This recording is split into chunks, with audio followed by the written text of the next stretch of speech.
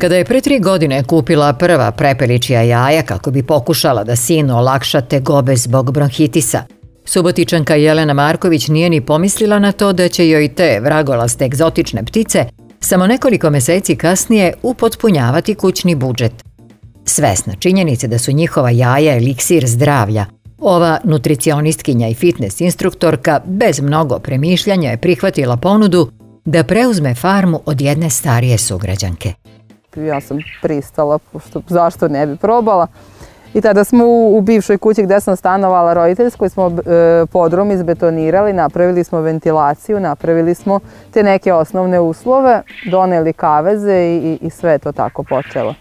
U početku bilo puno neuspeha, puno uginuća, puno pehova, ulazili su na miševi, svašta nam se dešavalo, ali ovaj vremenom se nauči kao i svaki posao i to. Zbog novog poslovnog izazova Jelena se sa dvojicom sinova preselila iz stana u kuću na periferiji grada i sve svoje slobodno vreme je podredila svojim pernatim ljubimcima. Kako kaže, zahtevnije su u odnosu na drugu živinu i moraju im se obezbediti optimalni uslovi boravka. 4 do 5 obroka dnevno, sveža voda uvek, temperatura koja mora biti konstantna, osvetljenje koje mora biti određeno, I to je ono. Njima u stvari e, najvažnija ta neka konstantnost, da se ne menjaju uslovi njihovog života, pošto na svaku promjenu reaguju tako što prestanu da nose jaja. Dešava se i da uginu, ali ovaj, ono što se prvo desi da prestanu da nose jaja. Znači, dešava se za hladi, ako ih ne zatvorim dobro, da nedelju dana nemamo ni jedno jaje. Hrani ih isključivo prirodnim, hemijski netretiranim namirnicama – sa dosta proteina i vitamina, obožavaju rendanu jabuku i šargarepu, kao i zelenu salatu. Jelena kaže da njene prepelice do sada nisu bile sklone bolestima, prilično su otporne, ali im je mana to što nisu dugovečne. U industrijskim uslovima se drže pola godine, dok kod njih opstaju i dve godine. Njihovo meso je jako ovaj, dobro e, i zdravo je i nema holesterola, jako je cenjeno i E, mislim da je oko 70% njihovo, njihove težine u stvari su njihove grudi, znači belo meso, one su cele u, u, u mesu.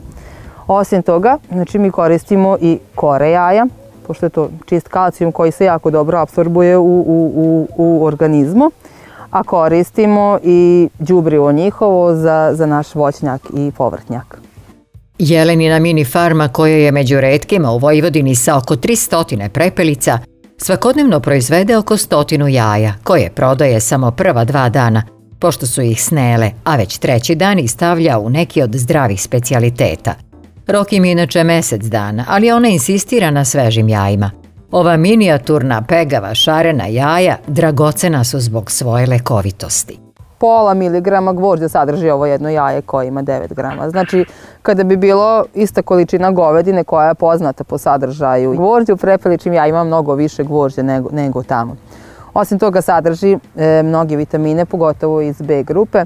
Također sadrži dosta e, magnezijuma koji pomaže kod opuštanja mišića, kod, za trudnice. Mislim, ja ih sad pijem redovno. E, I generalno e, nema e, lošeg holesterola, visokoproteinska su hrana, ali njihov, njihova osnovna namena je to je neko jačanje imuniteta. Zbog čega ne postoje naučni dokazi, zbog čega baš ova jaja pomažu, ali definitivno praksa je pokazala da pomažu.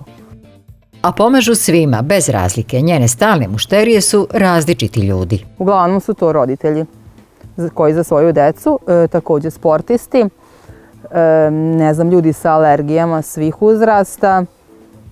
Manje više to je to. Ljudi sa nekim probavnim tegobama, sa, sa, sa tumorima se dosta javljaju. U svakom slučaju imunitet jako ojača korištenjem jaja, tako da ne mogu da štete u svakom slučaju.